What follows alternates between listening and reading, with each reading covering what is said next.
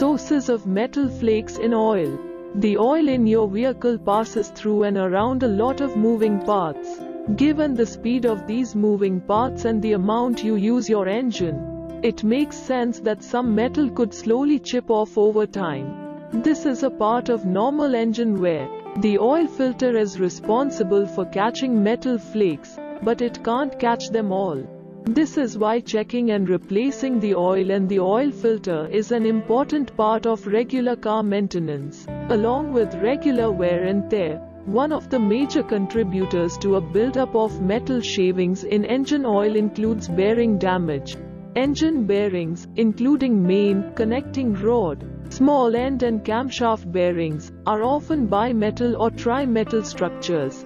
A low friction surface, brass, copper, aluminum, bonded to a steel backing allows for longevity and efficiency.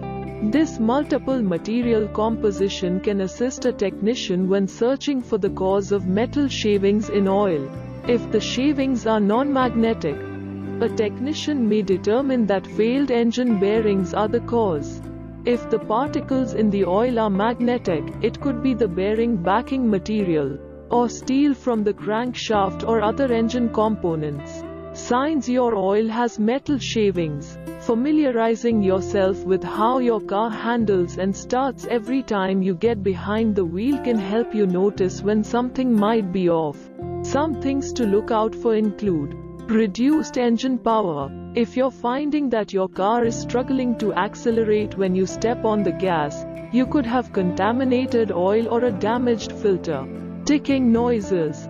Metal shavings in engine oil can prevent the oil from smoothly flowing where it needs to go, which can cause a decrease in lubrication that results in ticking sounds. Rough idles. A lack of proper lubrication can also cause friction to form between different engine parts. This can result in your engine vibrating or shaking excessively when your car is idling. Engine knocking. Buildup of debris and metal shavings in oil can cause the deterioration of engine parts if left unattended. Knocking occurs when fuel is burning unevenly in cylinders, resulting in clunking sounds created by ignited fuel consuming air. White exhaust fumes.